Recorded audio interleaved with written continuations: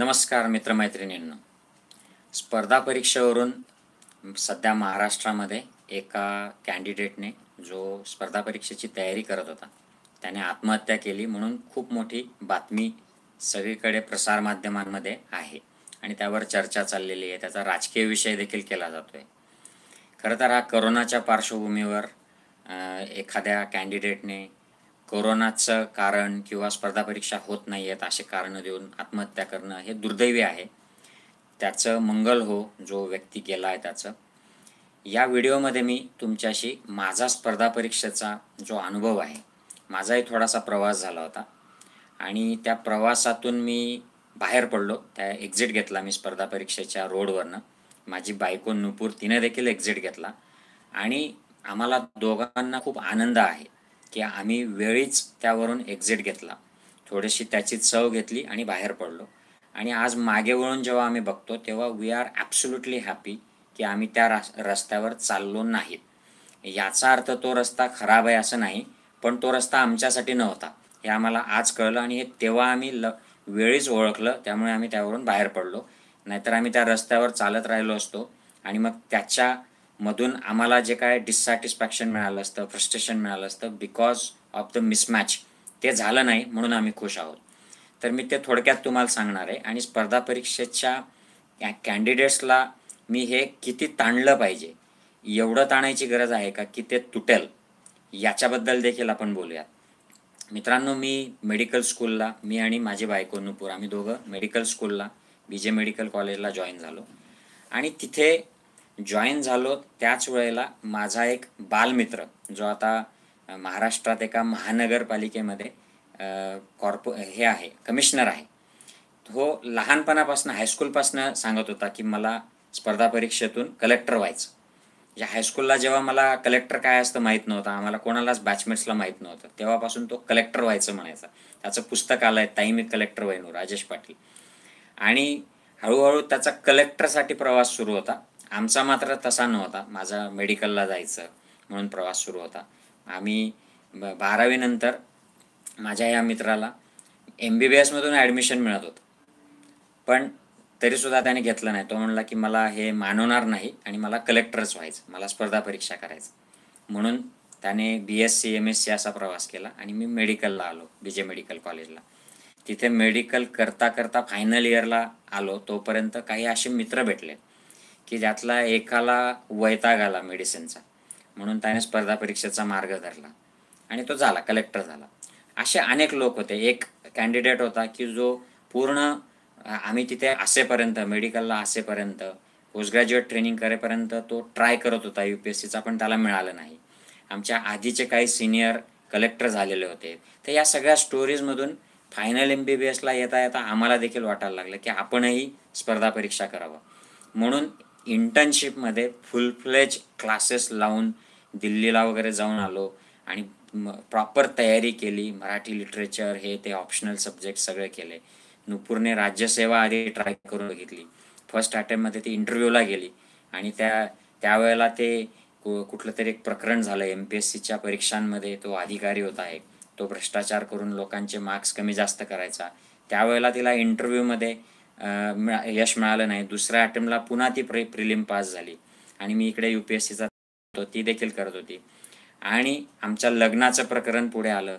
मग आम्हाला सिरियस प्रश्न पडला की जर नुपूरला एम पी एस राज्यसेवेतून किंवा यू पी एस सीतून पोस्ट मिळाली आणि मला देखील पोस्ट मिळाली किंवा आमच्यातल्या एकाला मिळाली नाही आणि आम्ही मेडिकल प्रॅक्टिस करायला लागलो तर आमच्या फॅमिलीचं काय होईल? एकत्र कसे राहणार? मग फॅमिली पर्सनल लाइकिंग खरंच आपल्याला त्या सर्व्हिसेसमध्ये जायचं आहे का? असा सगळा मी विचार केला. आणि किती वर्ष आपण याची तयारी करणार आहोत तोपर्यंत ही पोस्ट ग्रॅज्युएशनच्या ट्रेनिंगची संधी जाईल. म्हणजे आपण इकडचेही राहणार नाही इकडचेही राहणार नाही.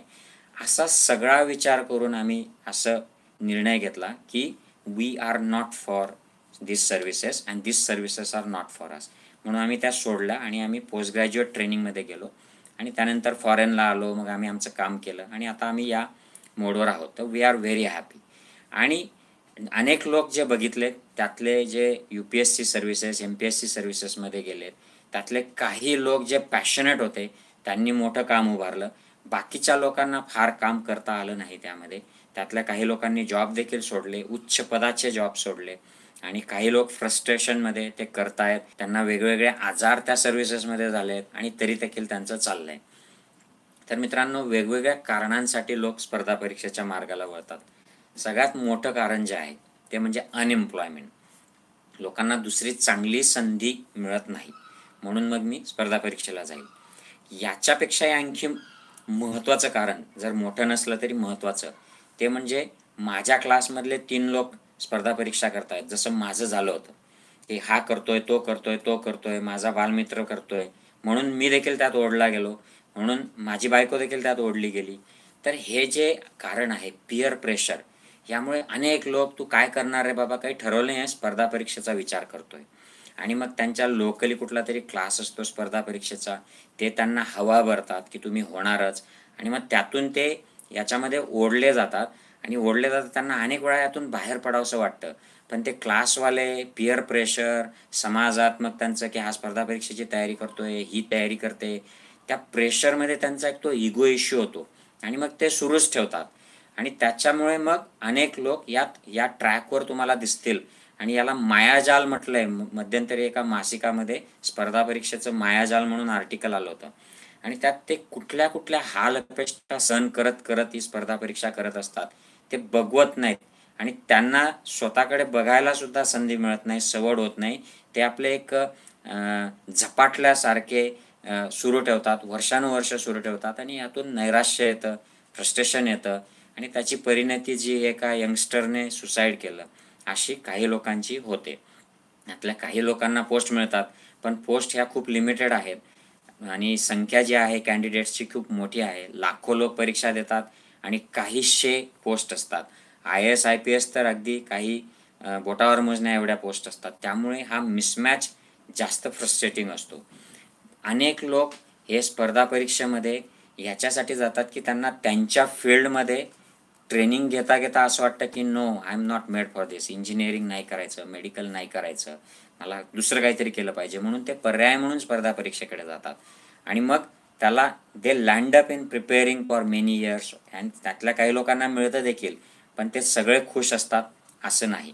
याचा अर्थ स्पर्धा परीक्षा चुकीच्या आहेत आणि ते जॉब चुकीचे आहेत असं मला अजिबात म्हणायचं नाही आहे ते अत्यंत महत्त्वाचे जॉब आहेत पण त्यासाठी तेवढं पॅशनेट असणं हे गरजेचं आहे.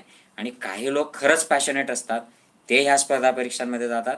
They get and then they enjoy हे देखील असतं. पण उरलेले जे लोक आहेत जे या प्रिपरेशनमध्ये पडतात ते शेवटी मग या इगोमुळे प्रेशरमुळे ते जिद्दीला पेटतात आणि ते करत राहतात. आणि मग त्यातून त्यांची जी बेस्ट स्पेशालिटी असते उदाहरणार्थ एखादे सायन्समधले असले किंवा इंजिनियर असले मेडिसिनमध्ये असले तर त्यांची त्या स्पेशालिटीशी जे रूट्स आहेत ते देखील त्यांची त्याच्याशी नाळ तुटते. आणि मग त्यांना if they don't get through competitive exams त्यांना तिकडे जाणंसुद्धा मुश मुश्किल होतं. ते कम्प्युटर इंजिनियर असतील तर पाच वर्षाच्या प्रिपरेशन नंतर स्पर्धा परीक्षेत अपयश आलं तर त्यांना कम्प्युटर इंजिनियर म्हणून पण कोणी जॉब द्यायला तयार नसतं. And they land up doing secondary tertiary level of low quality jobs आणि ते फ्रस्ट्रेशन करणारं असतं. त्यामुळे या सगळ्या गोष्टींचा विचार हा स्पर्धा परीक्षेचा विचार करतानाच झाला पाहिजे. कारण ह्याच्यामुळे नुसतं करिअरचाच प्रॉब्लेम होत नाही. तर तुमचं लग्न पोस्टपोन होतं. तुम्हाला गर्लफ्रेंड मिळणार की नाही? ह्याचं या गोष्टी ठरतात. कारण एकदा स्पर्धा परीक्षेतून जॉब मिळाला पोस्ट मिळाली की अनेक लोक तुमच्याशी संबंध करायला बघतात लोक मुली द्यायला येतात मुलगी असेल तर तिच्याशी लग्न करायला मुलं तयार होतात.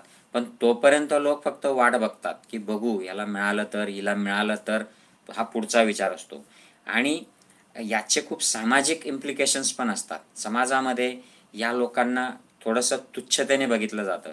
एक दोन वर्षात जर पोस्ट मिळाली नाही तर यांना हे आता हे स्पर्धा परीक्षेच्या तयारीतले आहेत. हे झालेत आता इन्स्पेक्टर झालेत आता कलेक्टर असं म्हणून त्यांना चिडवलं जातं. काही वेळ काही लोकांना उघड उघड हिणवलं जातं. आणि याचा एक मानसिक दुष्परिणाम या लोकांवर होत असतो. तर मित्रांनो हा विचार सगळ्यांनी केला पाहिजे. मी अनेक वेळा स्पर्धा परीक्षेवर बोललेलो आहे मुलांसमोर तरुण मुलांसमोर. आणि मी त्यांना सांगत असतो जसं कोणी मेडिसिनला या की असं याचं मार्गदर्शन करतो तसं स्पर्धा परीक्षेचं देखील करतो. कारण मी यातनं गेलो आहे आणि काही वेळा मी स्पर्धा परीक्षेच्या मुलांना मार्गदर्शन देखील करतो. माझं असं स्पष्ट मत आहे की एखाद्याला खरंच यात करिअर करायचं खूप पॅशन आहे आणि त्यासाठी वेळ देण्याची गरज आहे. अशा लोकांनी व्यवस्थित प्लॅन करून आपला प्लॅन बी देखील तयार ठेवला पाहिजे. स्पर्धा परीक्षेची तयारी करत असताना तुमचा पॉकेट मनी तुम्ही मिळवला पाहिजे. पॅरेंट्सच्या स्कॉलरशिपवर जर तुम्ही करत असाल आणि तुम्हाला एक दोन वर्षात जर ती पोस्ट मिळाली नाही तर फ्रस्ट्रेशन येतं. तेव्हा तुमच्या गर्लफ्रेंड्स दूर होतात. तुमचे लग्न लवकर जुळत नाही. पोस्ट मिळाल्याशिवाय कोणी मुलगी द्यायला दजत नाही. त्या तुमचं सामा समाजामध्ये जे स्थान असतं तुमच्या नातेवाईकांमध्ये समाजामध्ये त्याला याचा धक्का पोचतो. त्यामुळे तुम्हाला लोकांमध्ये जायला देखील नाहीसं होतं आणि एक मानसिक रुग्णासारखी ही अवस्था होते. हे मायाजालामध्ये लोक अडकतात. त्यामुळे याचा विचार सुरुवातीलाच आपण केला पाहिजे की is it made for me am I made for this competitive exams and the services after that आणि एवढ्यावर था थांबत नाही. स्पर्धा परीक्षेतून तुम्हाला पोस्ट मिळाली की प्रत्येकजण तिथे मॅच होतो असं नाही. नाहीतर मग एखादा स्वभाव त्याचा टीम वर्किंगचा नसतो आणि मग सिस्टीम त्याला एका ठिकाणाहून दुसऱ्या ठिकाणी बदल्या करत राहते. आपण वाचतो दोन वर्षात चार बदल्या. कारण या लोकांच्या पर्सनॅलिटीज तिथे मॅच होत नाहीत. पण त्या पॉलिटिशियन्सशी डील करावं लागतं कर्मचाऱ्यांशी डील करावं लागतं लोकांशी डील करावं लागतं मीडिया असतो आणि मग तुमच्या समस्या सॉल्व्ह करायच्या असतात यातून आणि मग यातून रचनात्मक कार्य करायचं असतं. हे सगळं करत असताना या सगळ्या लोकांशी जर जुळवून घेता आलं नाही त्यांच्याकडून काम करून घेता आलं नाही तर तुमच्या वारंवार बदल्या होतात आणि then you become just a frequently transferred person असे देखील बरेच उदाहरणं आपल्यासमोर आहेत.